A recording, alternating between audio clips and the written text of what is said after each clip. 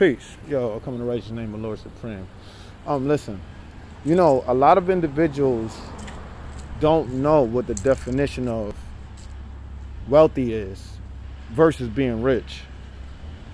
When you're wealthy, you have the ability and the freedom to financially take care of yourself in a way where it's conducive to your growth and development and it helps out everybody else around you. You feel what I'm saying?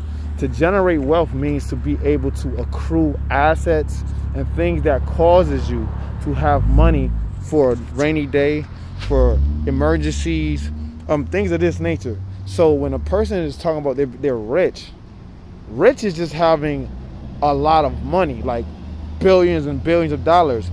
Wealth is accruing assets that lead to financial freedom. You feel what I'm saying? So when you deal with the idea of being wealthy versus being rich, look up the difference between the two and you'll be able to see the significance in what wealthy is and what being rich is. You can be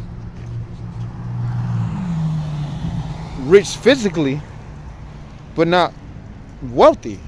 You feel what I'm saying? There's a there's a difference. You can be wealthy but not rich. That means that like okay, let me give you an example of what wealth is. When you deal with wealth, you're dealing with the ability to go come as you please financially. You're in a financial level of stability. Your life is stable. You're able to maneuver, move around, go different places, go to travel, um, buy things that you want at your expense because you're financially wealthy, not rich. There's a big difference. When you're rich, you just have the ability to spend the money that's within your means to spend until you run out. You feel what I'm saying? Wealth is accruing assets over time to lead you to financial freedom, like investments, uh, real estate, uh, stock market, drop shipping, things that generate and accrue passive income.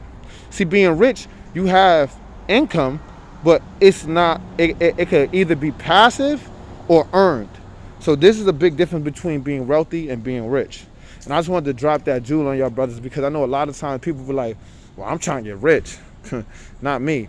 I'm trying to get mentally, emotionally, physically wealthy.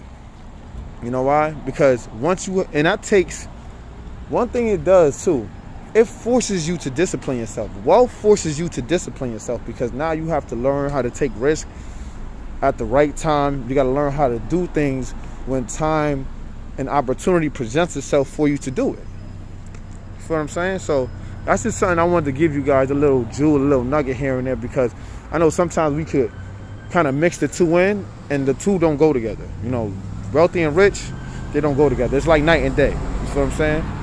So y'all have a blessed one. Talk to y'all soon. Y'all have a y'all have a blessed day and keep on building.